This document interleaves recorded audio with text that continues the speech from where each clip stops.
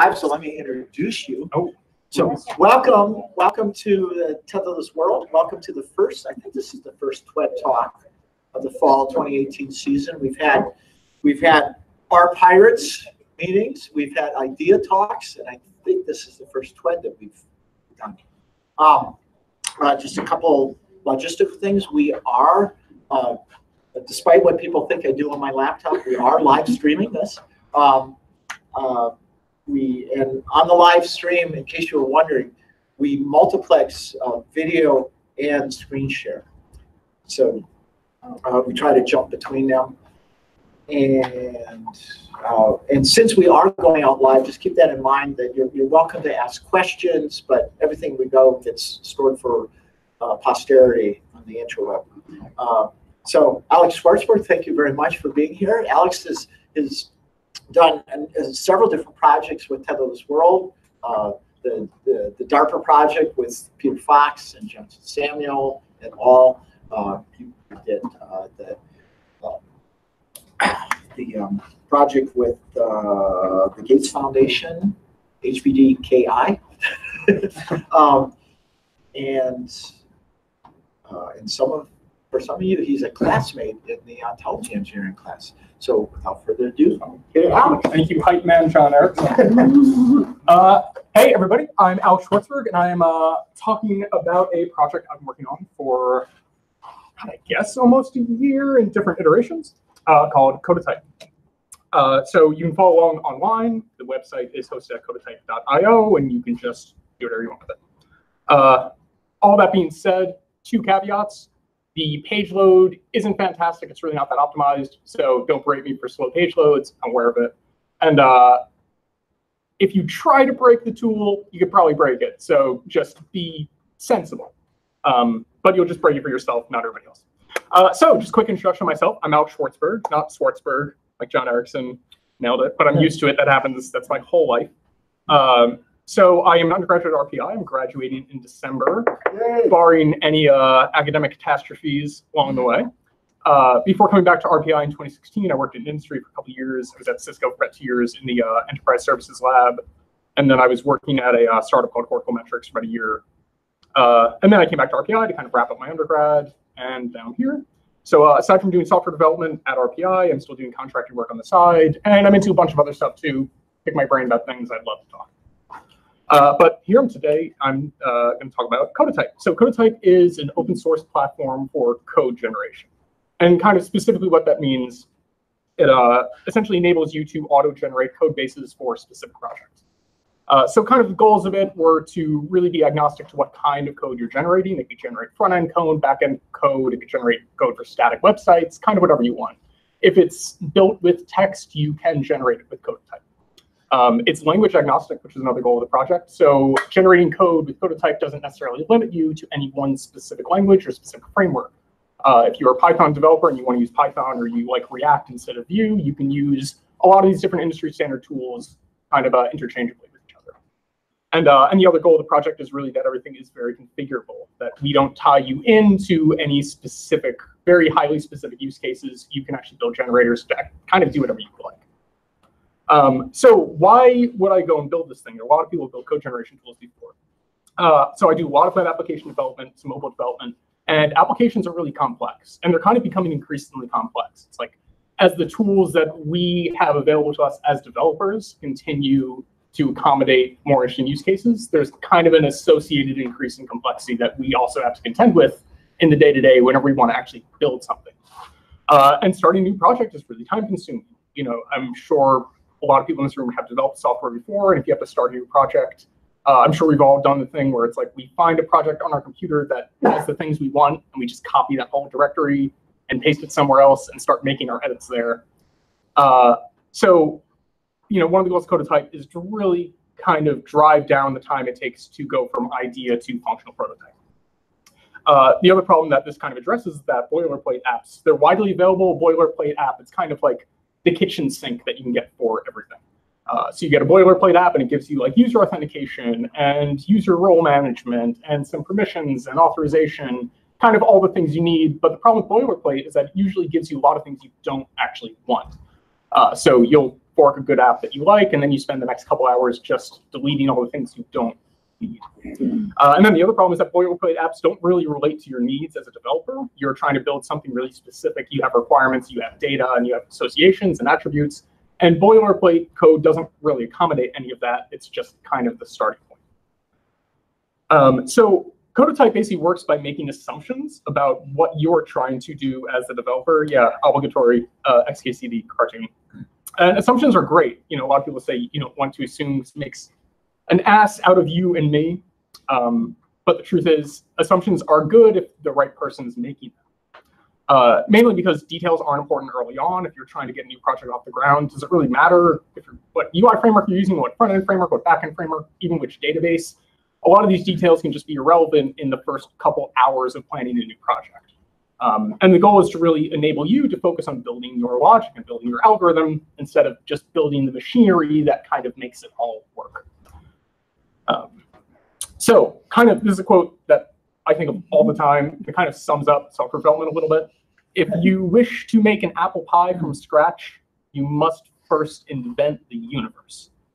And that's kind of, at least where modern web development's at today. You know, it's, you might have an app with some really simple requirements like, oh, I want to send a call to the server that returns a greeting with my name.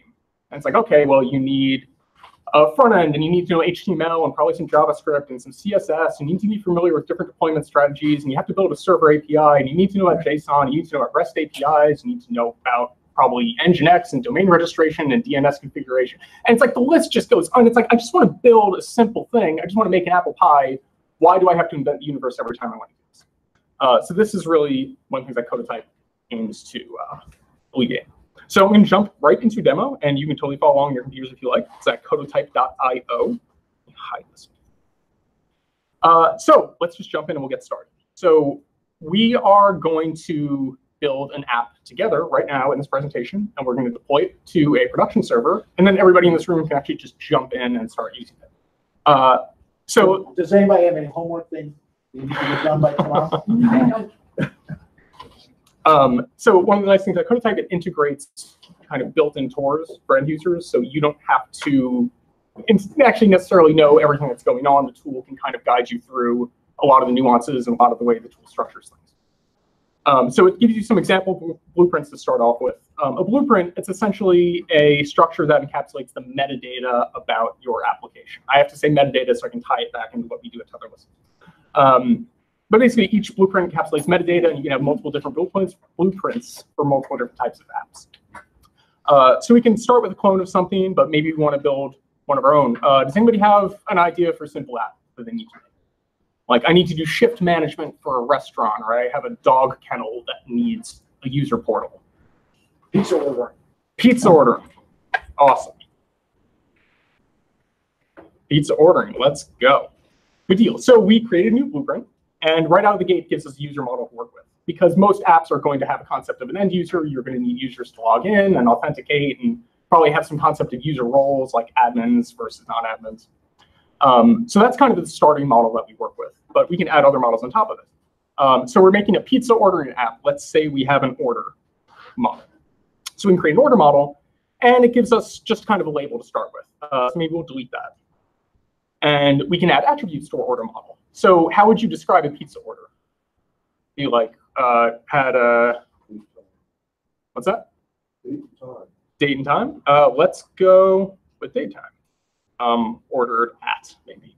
And you see, actually, as I type this out, it's going to kind of auto-complete some little attributes for me. Um, so the idea is that it's going to kind of guide you through the process a little bit. Uh, maybe we'll say the date time is required, but we'll say date time for ordering ordered at shouldn't be unique because two people conceivably order the same a different order at the same time. Uh, sure. That's very important to me. And even more important to the people I buy pizzas for. We'll also set required on that. Um, so maybe Lo- we'll location. say price. No. Uh, We'll just put price. Or alternatively, what we can do, we're gonna have an order, and then probably an order is gonna have a couple different items on it. So maybe we should add a model for a uh, an item. Yeah, uh, we need a location. We will need that. So we'll add an item and we'll add a price as well.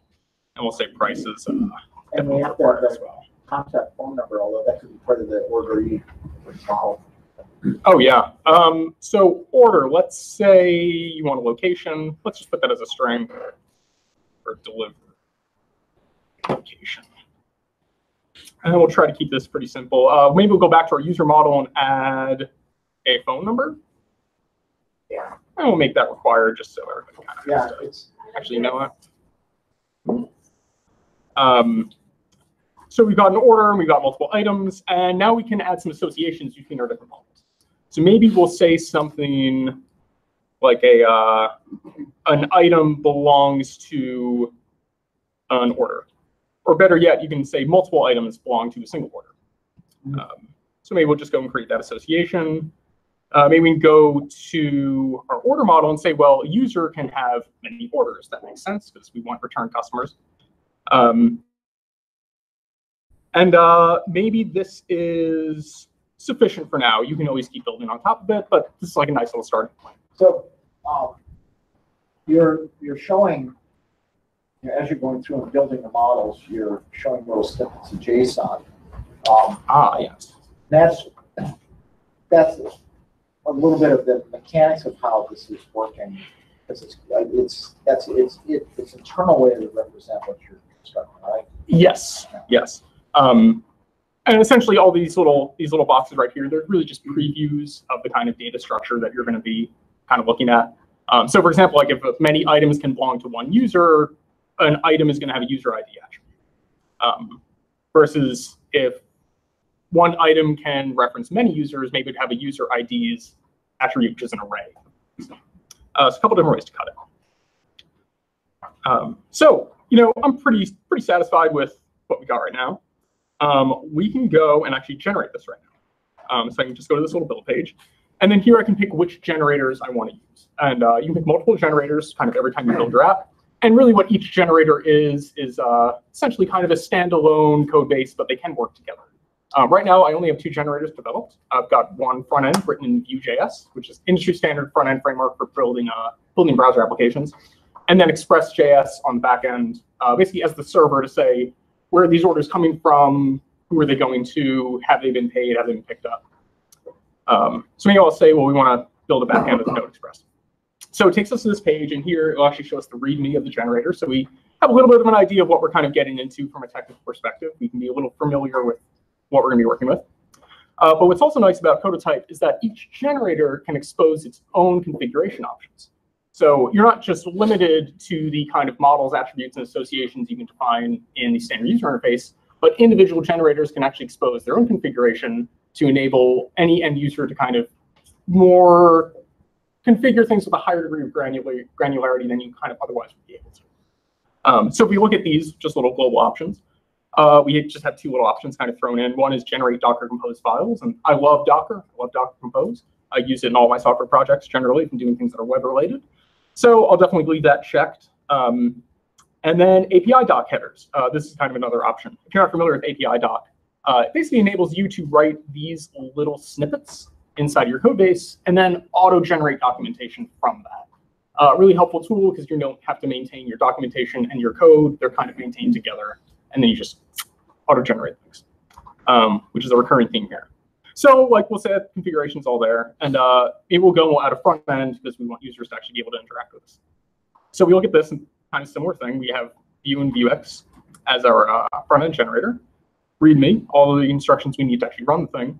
Uh, and then we have some different kind of options exposed here. So these are called model options. So these are actually configuration options that can be defined specifically for each model defined in your blueprint. Uh, so for example, I think this generator just defines two different options. Basically, I can specify an icon that I might like for the app to be generated.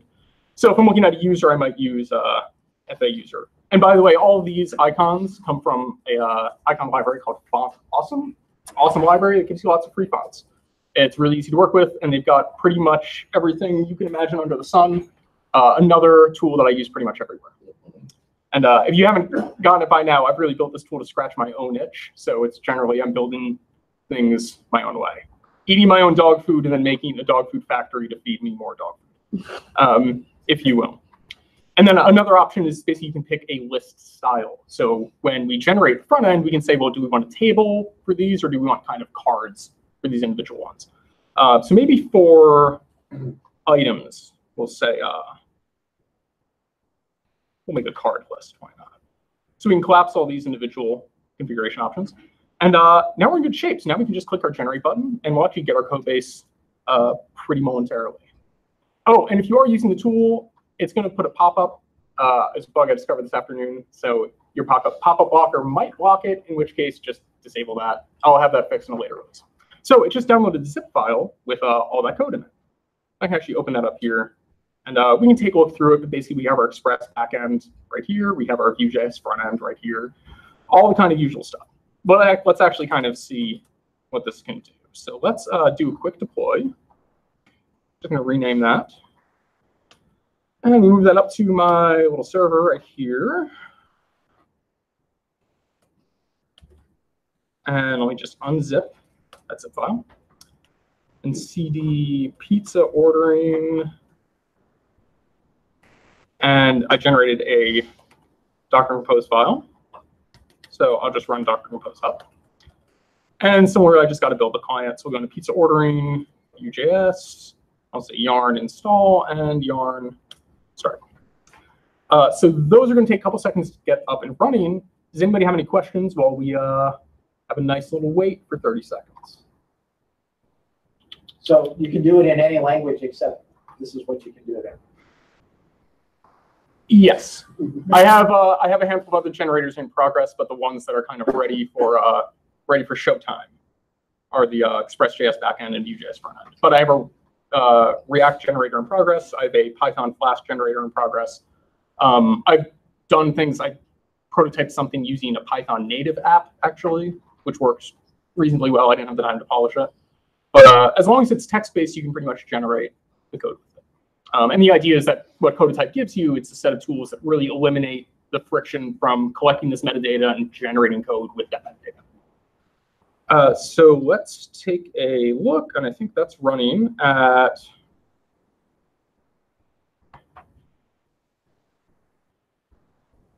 Oh. There was something up there on the client side. Yeah, something exploded. Order state, order store, order state. Oh, bummer. It's always a bummer when these things explode during demos. Um, That's the definition of demo. yeah, no, it's true. If it's not exploding, it's we're not doing it right.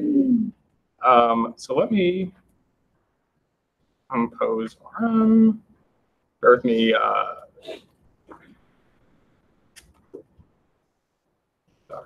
Unhandled promise rejections are depreciated. Promise rejections that are not handled will terminate.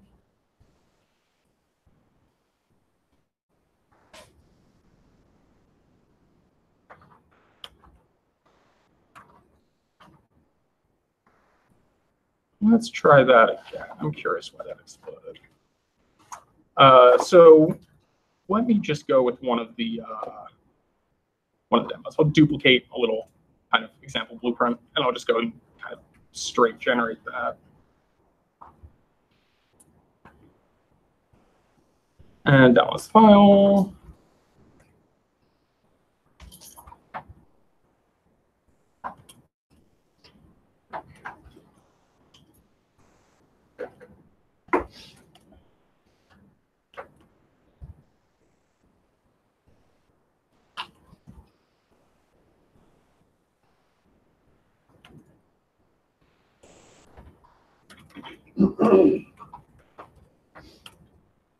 And we'll give it one more shot.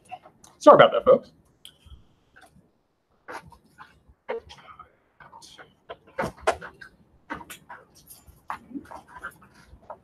What are you running on your machine? Linux Mint, pretty happy with it. Been wanting to move to Arch, but I uh, don't want to do it during the semester because I'll mess it up. I love Linux, Mint, Yeah, it's good. It's a little heavy, but definitely gets the job done. Which is ironic because it was generated because Ubuntu was heavy and stupid. Well, Unity. And da, da, da.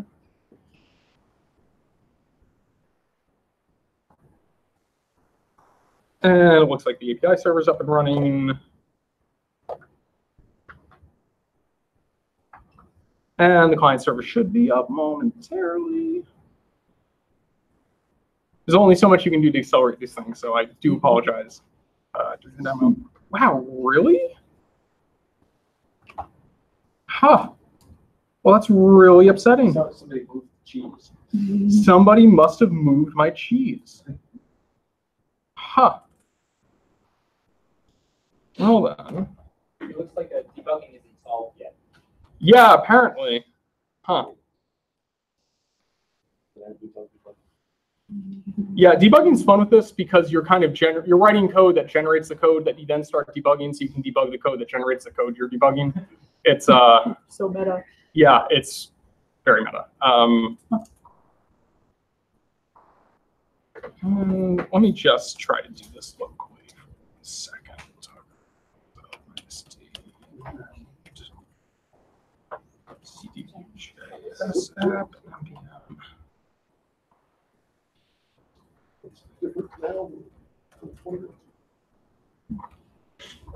Okay.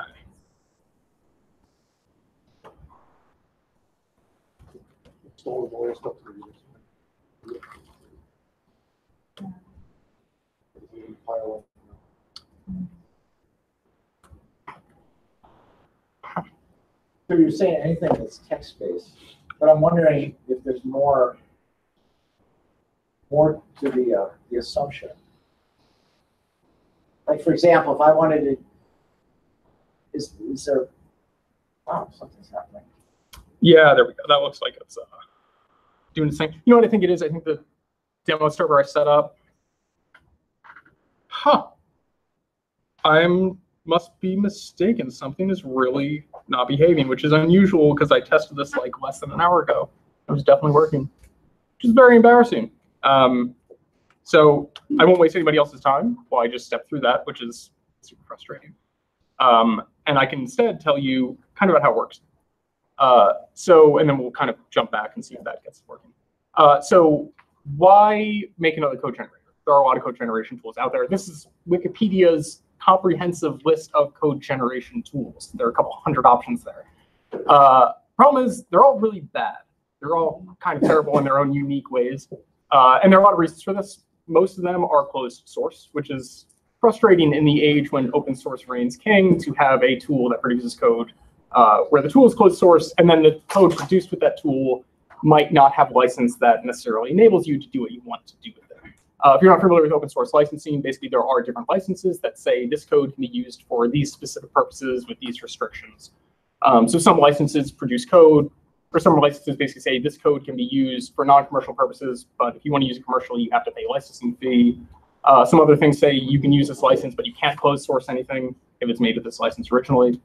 Um, so there are a lot of different tools that generate things with lots of different licenses with varying levels of permiss permissiveness. Let's go with it. Uh, so everything Codotype builds is MIT licensed. So it's the most permissive. Close source it. You can use it to build a product for your company. You can keep it open source and give it to somebody else. Uh, the other thing that is really unfortunate about a lot of these other tools is that they lock you into specific tools and languages and frameworks. So there are a lot of code generation tools, but they only generate Java 7 code with Spring. It's like, how, who's, who does this really help?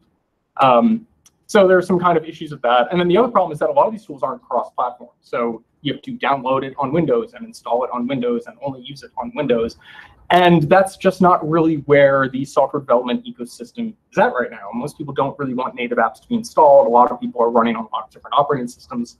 And not only that, but you know, a lot of people want to be able to programmatically generate code via uh, via an API. And Codotype kind of enables you to interface with that core library in a lot of different ways. So is making Codotype uh, cross-platform and open to various languages and frameworks, is that a lot of extra effort compared to like what existing code generation schemes used, or do you just like discover pretty looking by making it so general? pretty low hanging fruit, to be honest. There's no real interesting magic about what happens under the hood. Uh, it's it's shockingly simple, actually, when you get into it. Um, but uh, yeah, really, it was low hanging fruit. There aren't good cross platform options. There aren't good code generators that build things with the tools that I want to use. Um, and a lot of this, like I said, it's scratching my own itch. I want to accelerate my workflow in new projects, and uh, being able to generate code that I've written is pretty nice. Um, so, uh, so the goals of Codotype are to be cross-platform compatible. We want to be language and framework agnostic. Uh, we want to be friendly for beginners. We want to produce code that somebody who might not have a strong background in web development or software development could conceivably generate this code and poke through it a little bit and kind of make sense of it. And then uh, the other goal is to produce good, clean, functioning, sane code that looks like maybe a person actually wrote it uh, instead of just stuff that is produced via machine for mach other machines to uh, look at. So uh, how all of this kind of works underneath the hood, basically end users can define blueprints, and we step through that process a little bit. Uh, those blueprints are basically can be paired with a number of different generators that are kind of all passed in the Codotype runtime in one shot. So that's what enables you to say, well, I want to use this front end of this back end and this documentation generator and give it all to me in one shot. Uh, the Codotype runtime enables that, and that's a separate library that is everything's open source. Uh, and then the last thing, once the Codotype runtime is finished producing all that code, it basically zips it up and sends it back to the end user, at which point you can iterate on that code a little bit more yourself, or you can uh, take that and start modifying it manually. But uh, generally, I found that you know I'll generate a code base and I want to kind of go back into the tool, modify my blueprints a little bit. I was building a textbook library a couple weeks ago and I added an ISBN number, but then I realized, well, there's ISB 10 and ISBN 13. I need to accommodate both. Uh, so it's nice. You get kind of catch scope issues really early on in, software, in your kind of software development lifecycle uh, instead of like three sprints in when you realize, oh, we need two attributes for ISBN numbers. Um, so the kind of process of generating code, and this kind of touches on what you asked, uh, basically we just have templates. We have an uncompiled template, which you see on the left. Uh, you see things like schema.classname and schema.attributes for each, where we just iterate over each attribute. And uh, basically we just output some information. So for example, this, this thing at line seven basically says, oh, if the attribute's data type is Boolean, then we put out a little bit of text that generates an attribute of type Boolean. Uh, and then what you see on the right is the actual code that's produced from this process. Uh, so for example, I think this is a checkout. So we had a start date who's a string, that should have been date type. Uh, and we say, well, it is required, but it doesn't have to be. Um, so the process is really simple. It's just kind of taking basic templates and shoving your data into them. Uh, so how's all this built? Uh, I use Vue.js and Vuex on the front end and the browser UI. That's what enables you to kind of construct your blueprints and tie them together. Uh, I use Docker and Docker Compose basically just to deploy my production server, but you can just deploy with anything. Uh, I'm using Lerna.js, really new tool I just started using a couple days ago. Uh, basically, it, it's fantastic. It resolves uh, basically a web of local dependencies on your computer. So I think Codotype is powered by Codotype, got like 17 repositories, but of those, I think about five or six of them are really core to how things work. Um, so when I'm developing these things locally, maybe I make a change in one, but I have to make an associated change in three or four other places. And managing that by yourself can be a real headache. Uh, so Lerna kind of gives you a framework to automatically resolve any dependency issues you might have locally while you're developing. Uh, aside from that, I use Bootstrap and Sass to make the UI look nice without putting in a whole lot of legwork on my end. And then lastly, Node.js is really what powers uh, everything under the hood. That being said, when you're writing generators, you really don't end up writing a lot of JavaScript. Uh, it's really more about writing templates and pushing data into them. There's very little JavaScript work that gets into it. Um, aside from that, the future prototype, really what I'd like to do is build more expressive generator creation tools into the platform. Um, so right now, you know, you can kind of construct these things by hand, but I'd like to get into the, really get to the tool to the point where you can have a generator generator, or you can say, here are the parameters of the generator I want to make, and it will generate code for your generator stop me from going too fast because it, it is a little confusing and very convoluted.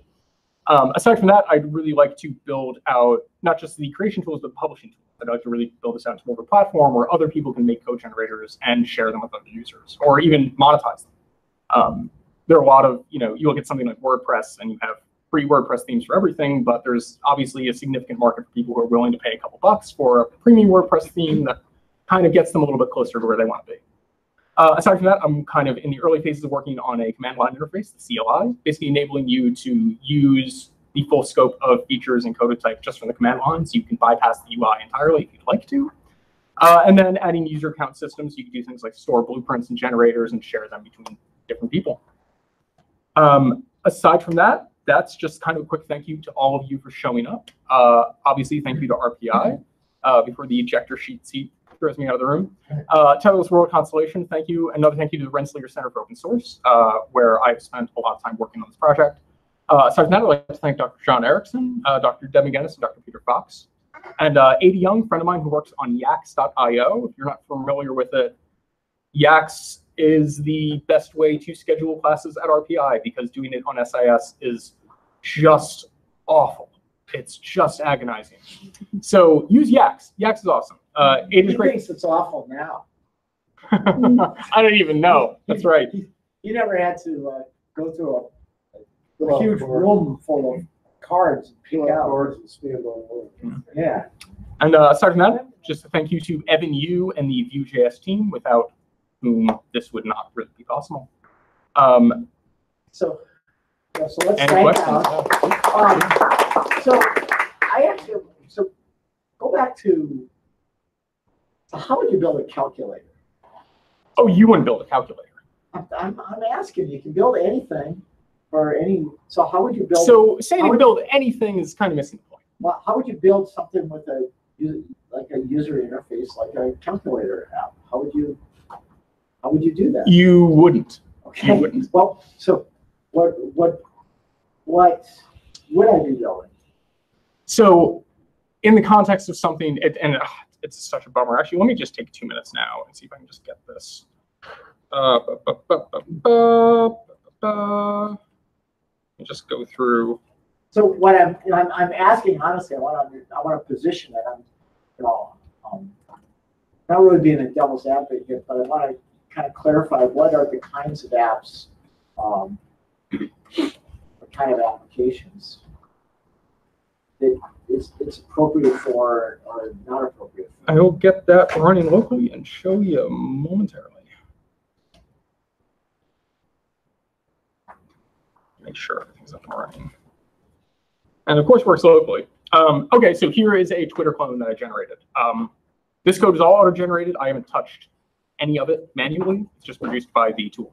Um, so for example, I can have uh, users that we created. Um, you can have things like tweets and favorites and follows. Very basic kind of Twitter fun. Um, so let me actually, I can go and log out. Um, so it comes kind of with batteries included. You have a login form, you have a registration form. Uh, I'll just log in as John Doe. Uh, so the kinds of apps that it generates, to answer your question. So for example, let me go back here. So this is the uh, Tweeter. So here we have, you know, a user, a tweet, a favorite, and a follow. Those are the kind of four models we have, and we have different attributes and associations between them. And this is the code base that's produced with it. Um, so basically, it gives us all the CRUD views and the CRUD API routes for all these models, and some kind of little helpers to make sure those associations uh, are kind of linked up nicely at the API level and the front end level. So for example, like when I fetch my list of favorite tweets from the server, it will actually give me links to the user who favorited it and the tweet that was actually favorited. Um, or I can go to follows and I can say, well, John Doe is a follower of Jane Doe. Um, or I can go and add a new one. And I can say, well, Jane Doe is a follower of John Doe. They follow each other back. Um, so the idea isn't necessarily that it's going to generate this whole app for you, and as a developer, you are now obsolete and you will never have to do anything.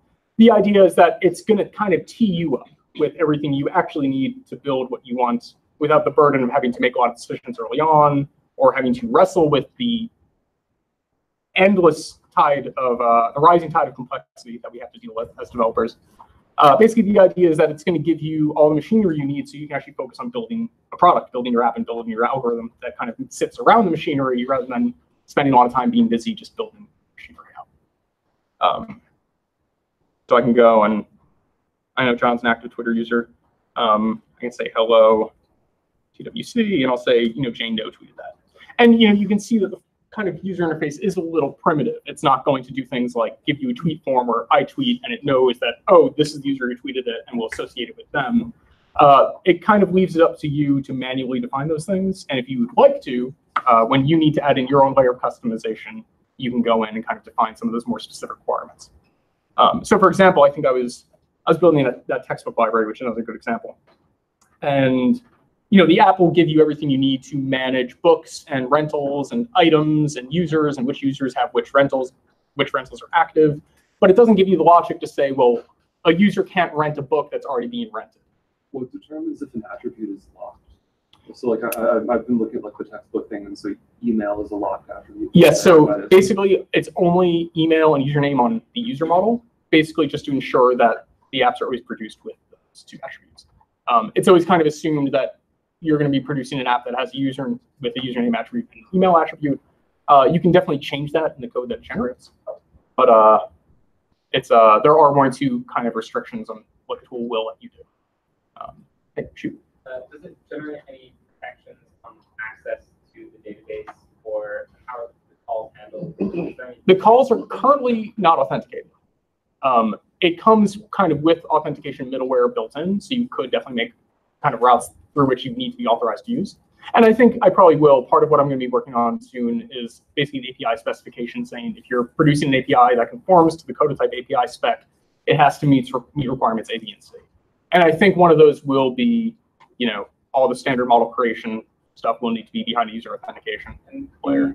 the other one would be, do you have any plans for anything sort of outside of just setting up your, your database and your database access?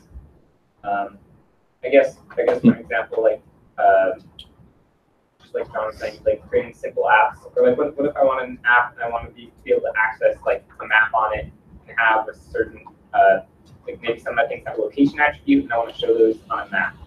So specifically, Right. so like a calendar, like add like a calendar or map widget that they automatically sets up. Right. So that's that's a good question. So in the core of the tool, no, those aren't really features that are going to be supported. The idea is that it's going to handle uh, kind of all of the common case things. So you can add a model that has a geolocation attribute that conforms to a specific kind of format.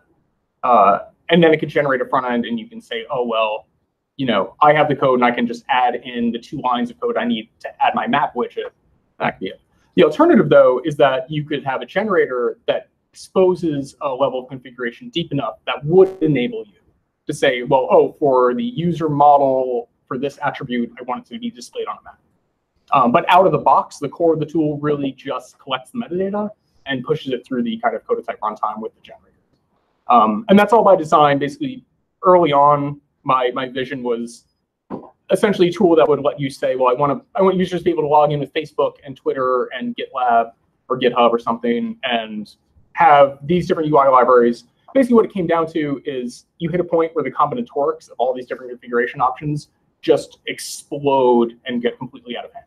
Um, you end up with something like 20 factorial different combinations once you keep expanding your configuration. And not only that, but every time you add a new configuration option, all of your generators need to be updated to support it. Uh, so instead of taking that route that would, you know, madness-lies that way, uh, I basically elected to unload that level configuration onto the individual generators and keep the core of the tool uh, very open but a little constrained. So, so to, to summarize that, so it's, it's for kind of this coding scenario where there's a bunch of this stuff that, you know, as you said, as you said up front, this, this metadata is associated with the app.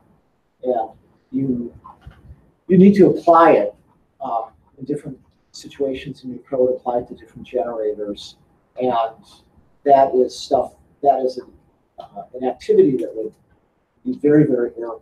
It would, or it would just, plus it's tedious as hell, even if you you did it. And so the idea is to sort of configure that metadata and reuse it in different ways in that kind of a skeleton of your code, get that all cut in. And then you kind of come in with the dilithium crystal. um, you know, like Charlie was saying, you know, that you know, maybe I'm got a, you know, I'm gonna have map code in this. There's some kind of the, the unique stuff that you're going to put in there, but you've got kind of this framework that's been built around it, and is also reproducible. You can hit the button again, and change some things, and have it kind of go in the right place. That's Right. Kind of what you're, what this is, is about is cutting in all of that stuff that's could cause lots of problems. Right, right, exactly. So, and, and one of the use cases that that kind of describes, I have a friend who works at a uh, large catering company in Albany, and they've got I think something like 200 employees. And whenever an employee can't make it to a shift, they call up, and some unlucky person on the other end of the phone picks up, and they say, "Hey, I can't make it in this Saturday." And the person who picks up the phone has to go to the clipboard and call everybody on the list until somebody picks up and says, yeah, I can take the shift. And this is like kind of how all restaurants do it. It's a real problem with this catering company because they have so many people. So I was talking to him and he was like, hey, wouldn't it be cool if we built an app where somebody leaves a shift and then we can text groups of five people and wait 15 minutes and see if one of them texts back. Otherwise, we can text another group of five employees and kind of collect those responses. So somebody could just get a text message and be like, oh, yeah, I could do Friday at six. Say yes, and you're kind of on the schedule. Uh, so we were talking about that use case and kind of what would be required for it. Um, and the business logic is really simple. It's like a user leaves a shift, an employee leaves a shift, dispatch emails or dispatch text messages until some condition is met, like somebody responding yes, and then stop dispatching. Um, the business logic is really simple. It's probably only like 50 or 60 lines of code maximum, you know, with testing. But it's everything else that you need to have in place. You know, it's needing to have a front end, it's needing to have a database, it's needing to have users and authentication, and kind of all the machinery that supports your 50 or 60 lines of code that actually does the thing you want to do. Um, so the goal was really to kind of automate the machinery so I could quickly scope out a project like that and uh, you know do something like ship it to a customer in a couple days instead of a couple weeks. Um, and you can see this here, for example, like every every individual model will have its own view generated, and that view automatically populates any associations. So if I'm looking at a, uh, we go and look at the John Doe user. Well, I can go to John Doe's page and I can see all John Doe's tweets, and I can see all the tweets that he's favorited, and I can see all the people he's followed and all the people who are following John Doe. And like, you know, you're building an app around this kind of data that's probably most of what you're going to need. You're going to need to go to the user page and see the person's tweets or see the person's followers, people who they're following. Um, so the idea is just to kind of give me all the things I need and maybe a little bit extra, and then I can kind of go from there and iterate. Any other questions? In, this, uh, in the beginning, you showed that Wiki has more than 100 code generators, which are like not useful. So in the prototype that you have, uh, other than like it's not user interface that you can get, is there any other drawbacks? I beg your pardon? Any other drawbacks to Codotype other than? Other than it can't generate user interface. You build like calculators. Oh, right, right, right. Um, as opposed to all the other code generation tools that I've looked at, none of the other tools I've looked at can really do anything as contextually specific as like a calculator or a map kind of thing. Um, in terms of other drawbacks, no, because because you know I chronically look for reasons not to do things. Uh, if I'm working on a project, I'm going to keep researching all the ways you can poke holes in it and have somebody just be like, this is a bad idea and it's a waste of time uh, which is good because I don't want to waste my time and I don't want to tread over ground that somebody else is like. If somebody else had nailed this already and they just knocked it out of the park, I wouldn't have even gone near it. But uh, I keep searching for a tool to do this, and there's just nothing out there. There's nothing that actually suits my needs. Uh, there was something that came close actually called Prelang. Really, really interesting tool. Um,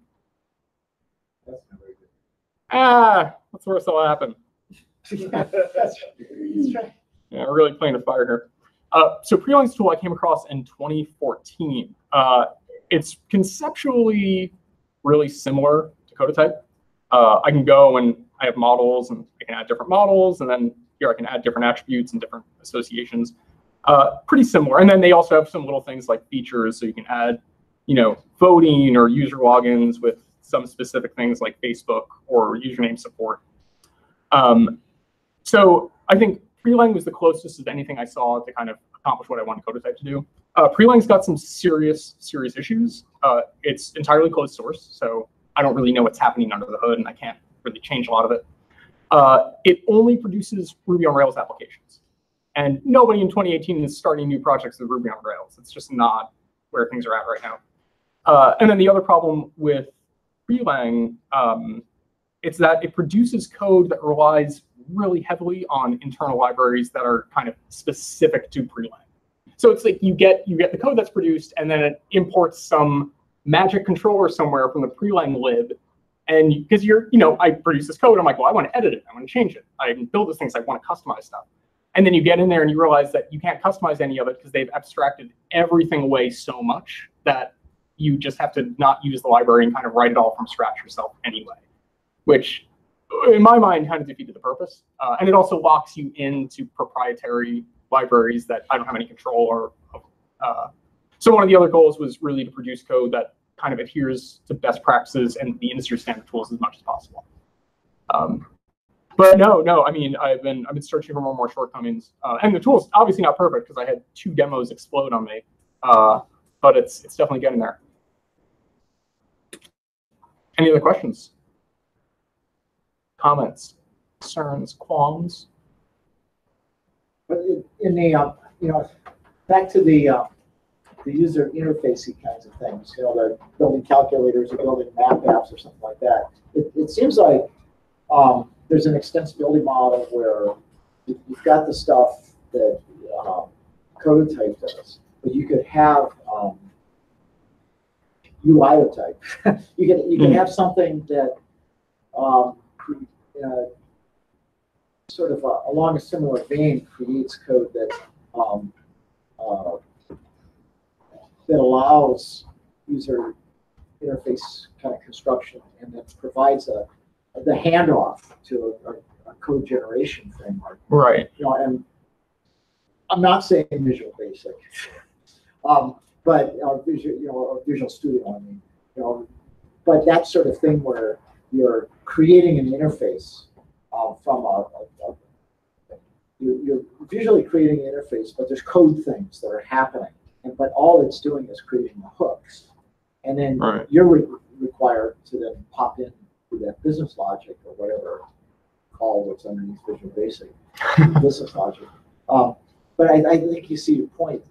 My point is that there's there's it, it's doing a, a lot of stuff that could be discretely coded if you wanted to, but you, you're, you're using UIs to, to construct this interface that's and, and there's plenty of web ends that do Right. that sort of thing too. Yeah, I mean, this is one I'm familiar with called vuegg. Uh, brilliant developer Alex Perez developed this tool. Basically, it's kind of a drag and drop editor that enables you to uh, produce. I think I just go and uh, da, da, da, download the Vue.js code that's produced with this. Uh, shortcomings of this, it only produces code in one specific framework. And, uh, you know, I've thought about a lot about kind of adding the UI kind of design tools into this. And this is open source under MIT. I could just gank all this code and throw it in the Codotype, and like call it a day. Uh, the problem is, is that when it comes to generating more and more front ends, there's just going to, I'm going to slam into that wall of ever increasing complexity. Um, so for example, if I wanted to, I worked on a, on a code in progress generator that would build native Python apps with uh, Python 3.7 and the TKINT, T, T Tkinter library, whatever it is. It's like the kind of de facto Python user library. Um, it's not really fun to work with, and having a lot of control over the sizing of things and the positioning of things is a bit of a nightmare. Um, so instead of building a tool that kind of now has to accommodate all of that additional complexity, uh, I kind of opted towards just taking the more metadata route and then let individual generators specify how they want things to. Well, it seems on that, that JavaScript-based user interface stuff, there's a lot of crazy stuff happening, you know, very quickly, like there's uh, React.js and all that kind of stuff. Right. So there's a lot of activity there. Um, so it sounds like you're, you're not there, you're over here. And, and, and, and things get stitched together. Right, right. And what's nice about it is that Codotype's not really susceptible to the kind of ongoing ebb and flow of what's popular in software development or web development specifically. Uh, another language comes out, another framework comes out, more tools become available. I can just bring them in to Codotype as another generator, um, which is you know one of the things I set out from the start was really completely decoupling the actual process of generating code from the tools that are used to define that metadata. Um, so everything's very standalone, and uh, you can, uh, yeah, new tools come out, and you just adopt them into the ecosystem. All right. Any other questions? Tom wants to know if he can do his C code. Sure. I mean, yeah, I could. No Fortran interface in this? Get off my lawn!